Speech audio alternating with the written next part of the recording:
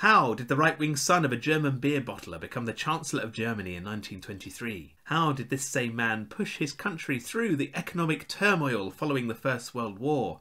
And, perhaps most importantly of all, did he follow the path of peace, or did his actions lead to the more aggressive expansionism that was to follow in Germany's history in the period of the Third Reich? Stay tuned, for today on the History Chronicles, we will be examining the life of the enigmatic German statesman Gustav Stresemann.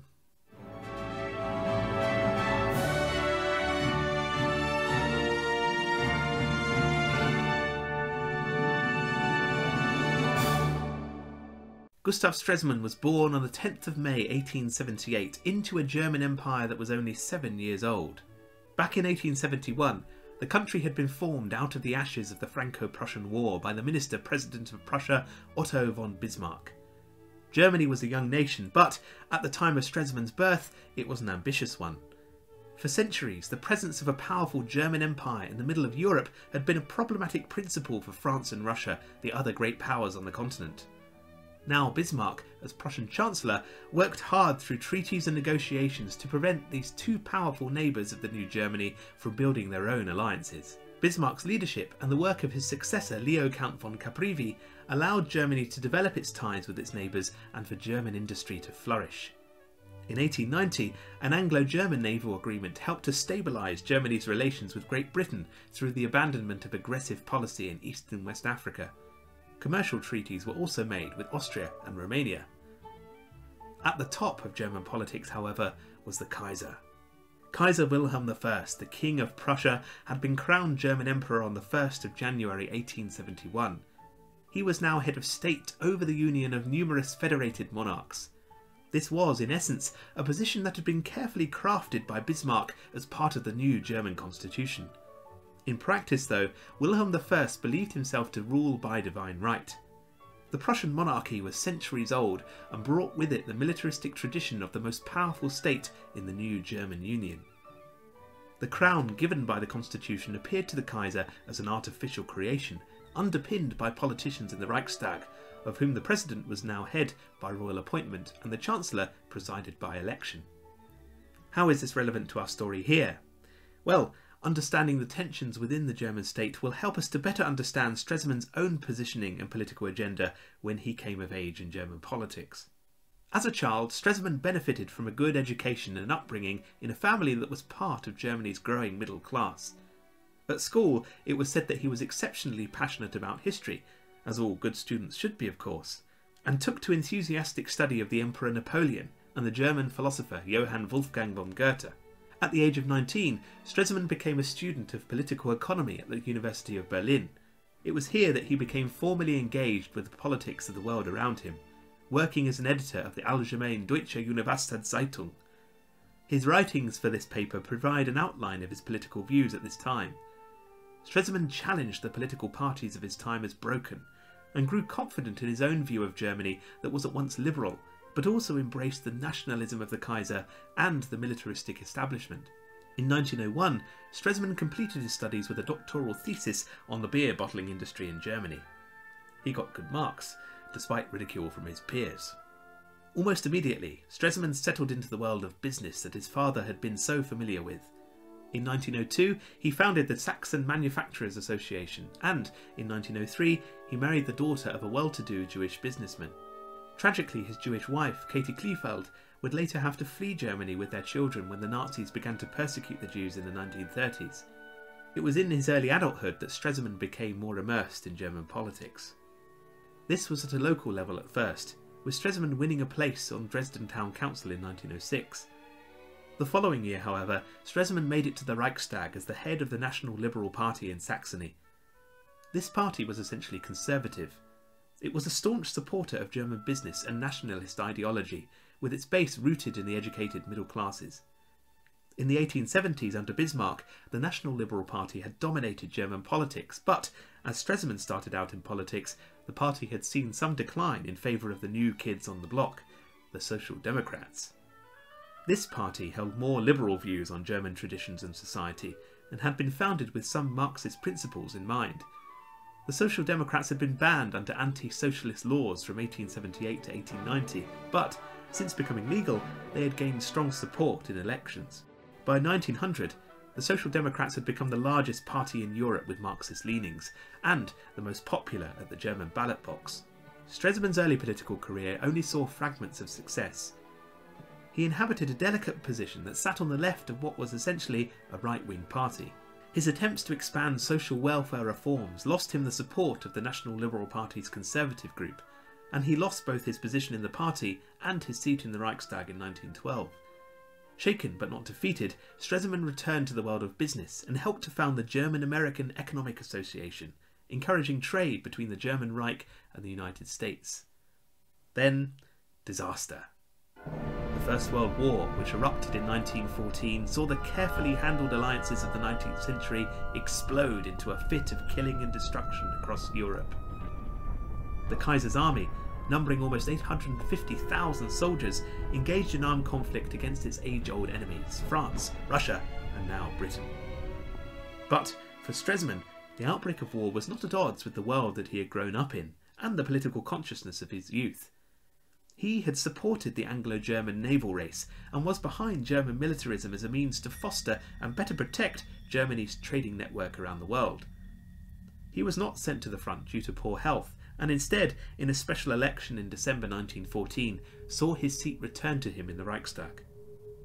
During the war, Stresemann championed the cause of the right wing with increasing fervour. For him, it appeared that the war was defensive and necessary to extend Germany's historical claims on territory to its east in Poland and to its west in France and Belgium. In the Reichstag, he was an ardent supporter of Germany's military commanders, the Field Marshal Hindenburg and General Ludendorff, the latter of whom was later to lend their support to the Nazis in the Munich Putsch of 1923. Stresemann was also in support of what perhaps became the most controversial policy of the war. This was unrestricted submarine warfare. Germany's pursuit of this policy, which essentially allowed for the destruction of neutral civilian vessels supplying arms and aid to Germany's enemies, was one of the reasons behind the USA's declaration of war in 1917. Stresemann also saw his own political capital increase in the war years.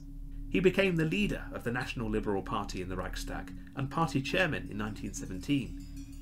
When the party was about to split over the issue of the voting system in Germany, Stresemann was able to hold it together. Stresemann's own interest in foreign affairs in this period is also particularly surprising.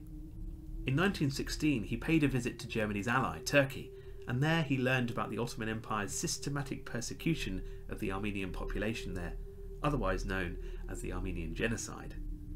The German ambassador to Turkey, Paul Wolff Metternich, had expressed some sympathy towards the Armenian people following the deaths of almost one and a half million of the Armenian population.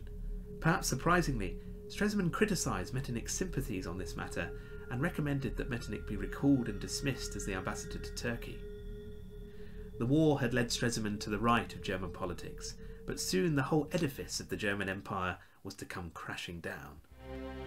In 1918, the German Revolution saw the abdication of Kaiser Wilhelm II and a government now dominated by the Social Democrats. In November 1918, an armistice was signed by this new government that formally declared Germany's surrender. Many ordinary Germans, particularly those in the military which had suffered no decisive defeat in the war, saw this as a stab in the back by their new leaders. Such a humiliation was exacerbated by the punishing peace terms that were foisted upon Germany in the Treaty of Versailles. Germany was burdened with reparation payments to France, Britain, and the USA that would cripple its economy for generations. At this juncture, Stresemann appears to have had a complete breakdown. But he returned to politics just a few months later to stake his claim in the new post war Germany. Stresemann's inroads into the Republic were problematic, however. He initially faced rejection for his previous association with the right wing during the war years. Ever determined, he founded a new party, the German People's Party, banding together his former supporters from the right wing. At first, Stresemann appeared sceptical of the new Weimar Republic, whose very foundations had been rocked by multiple uprisings following the war, in 1919, communists had attempted to take control of the government in the Spartacist uprising. This was met with force by the government's use of the Freikorps, a group of mostly right wing ex servicemen who were used along with the army to combat the Spartacists on Germany's streets. In 1920, the Freikorps themselves launched an attempted coup. This was only brought to an end through mass strikes across Germany, encouraged by the Social Democrat government, which had the trade unions on their side. Following President Ebert's victory against the right wing Freikorps, Stresemann was moved to accept the Weimar Republic as a permanent part of Germany's immediate future. Life in the Republic, however, remained dangerous. In 1922, the liberal politician Walther Rathenau was assassinated by another communist group seeking to overthrow the government. Then, in 1923, disaster struck once more. $972 billion. This was the equivalent amount today that Germany was forced to pay to the Allies in war reparations. Germany was struggling to keep up with the huge payments demanded each month, and at the end of 1922, its government stated that it would miss the next payment entirely. In response, French and Belgian forces occupied the Ruhr. The Ruhr was one of Germany's industrial heartlands, situated on its western border. If the Germans would not pay, it appeared that the French would take the resources from this region themselves. The resultant crisis, with French and Belgian troops once again occupying a part of Germany, evoked echoes of the war that had just passed. The German government, under the Chancellor Wilhelm Cuno, responded in kind with a policy of passive resistance, in other words, telling their workers not to go to work. Civil disobedience was also encouraged against the French, and friction between occupying French troops and German workers resulted in the deaths of over a hundred German civilians. The crisis in the Ruhr had an even more devastating effect on the German economy. The Weimar Republic attempted to deal with Germany's fall in production by simply printing more money. Consequently, while the amount of printed German banknotes skyrocketed, the value of the German currency fell enormously. This was the hyperinflation that was to see wheelbarrow loads of banknotes being used to pay for one loaf of bread. In the Reichstag, a new emergency election ousted Cuno, the supporter of passive resistance. In his place stood Gustav Stresemann, now the Chancellor and Foreign Minister of a new Grand Coalition government that was to try and bring the crisis to heel. The President, still the same Friedrich Ebert who had dealt with the Putsch, triggered the Republic's emergency decree, Article 48, to give Stresemann enough powers to deal with the Ruhr crisis. On the 26th of September 1923, Stresemann announced an end to passive resistance in the Ruhr. German workers were sent back to work. Emergency powers were employed to remove communist politicians in Saxony and Thuringia that had been illegally elected during the crisis and opposed the Weimar Republic. Stresemann's priority now was to get the French out of the Ruhr. In his own words, this was to remove the strangler from our throat. Resuming work in the Ruhr, however, would not immediately resolve the pressing issue of hyperinflation in Germany. To address hyperinflation, Stresemann abandoned Germany's valueless old currency. He established a Rentenbank with power to issue a new currency, the Rentenmark. In the absence of gold or any other means to prop this currency up, Stresemann mortgaged off Germany's industrial and agricultural land. 2,400 million Rentenmarks were created, Half went to the government, the other half to supply credit to industry. Now German workers could be paid, and, additionally, communism might lose some of its appeal among the working classes.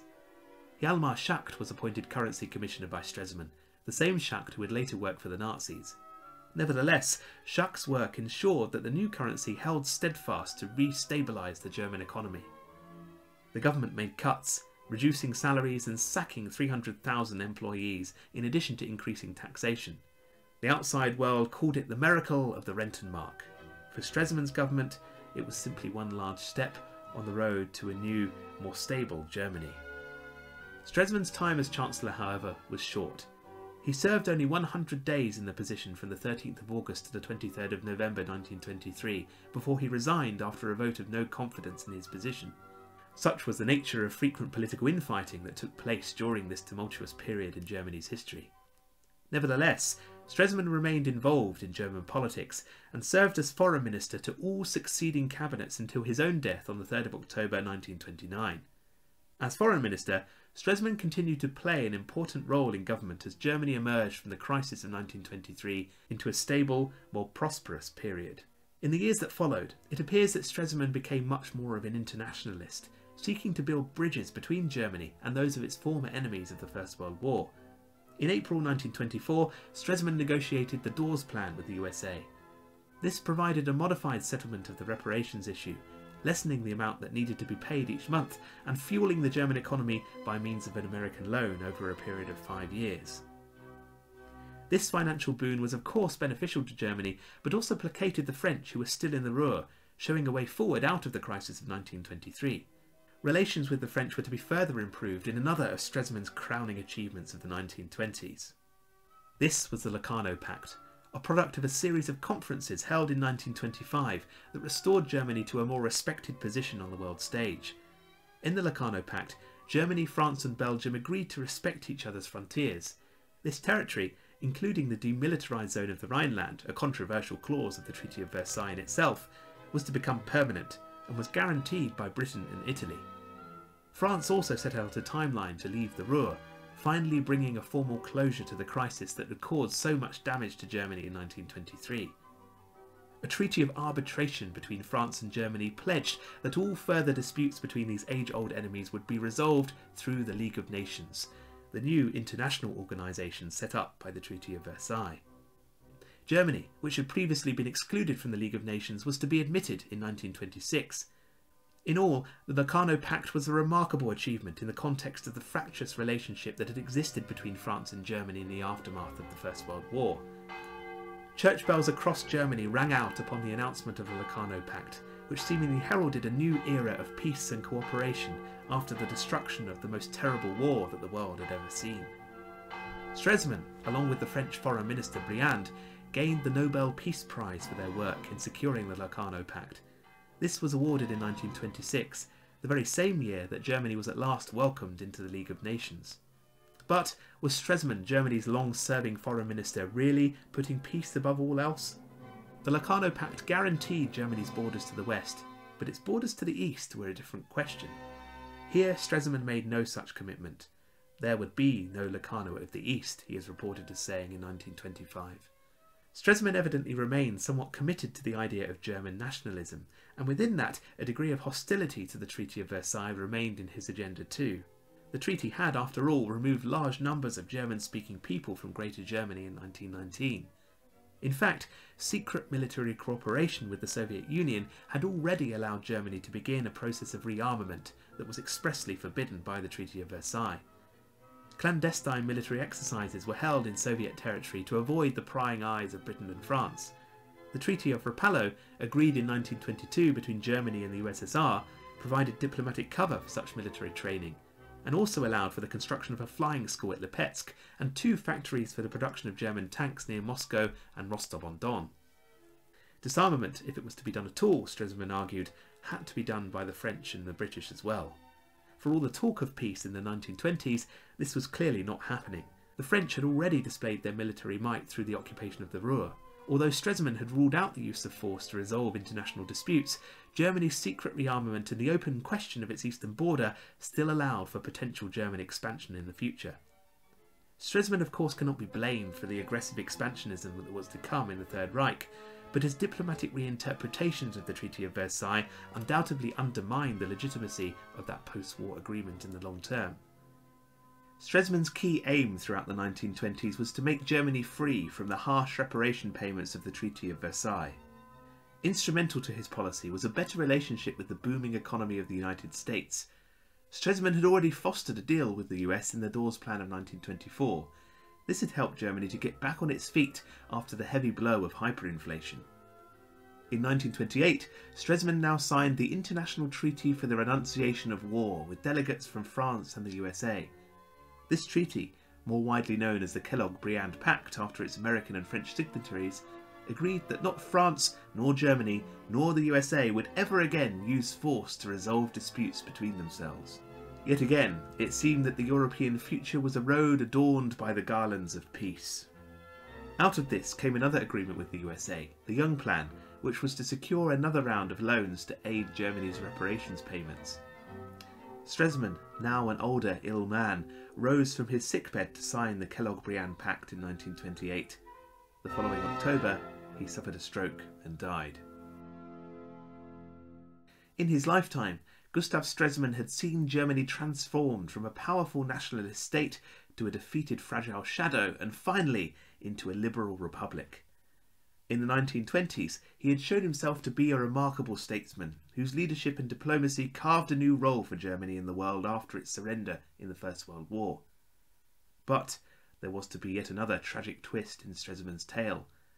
For in the same month that he died, the US economy, on which so much of German industry now depended, collapsed. The Wall Street crash of 1929 triggered a Great Depression around the world that was particularly felt in Germany. Stresemann's hard earned achievements, tying the German economy to that of its American helpers through loans in the Dawes Plan and Young Plan, were scuppered. American banks called back their money. Germany was left with nothing. The fallout of yet another economic catastrophe saw an increasing polarisation of German politics. This led to the installation of Adolf Hitler as Chancellor of the Reichstag in 1933 the new Nazi government sought not reconciliation with its neighbours, but a renewal of hostilities with its opponents that it regarded as unfinished from the First World War. In the years that followed, the agreements of the Locarno Pact and the Kellogg-Briand Pact were undone as Germany invaded its neighbours and began the Second World War. Stresemann's story, however, reveals to us the statesmanship and diplomatic character needed to hold a country together in a time of turmoil. The brief period between the wars saw Germany remake itself under Stresemann's careful hand, carefully balancing German tradition and nationalism with the need to accept the outcomes of the First World War, however undesirable this may have been. It was Stresemann's personality, one historian writes, that so impressed itself on German policy and foreign affairs during these years that it is truly right to speak of a Stresemann era. I very much hope that you enjoyed this episode of the History Chronicles on Gustav Stresemann. Please do like, subscribe, and turn on notifications for our page. And of course, do support our Patreon if you're able. See you again for some more history.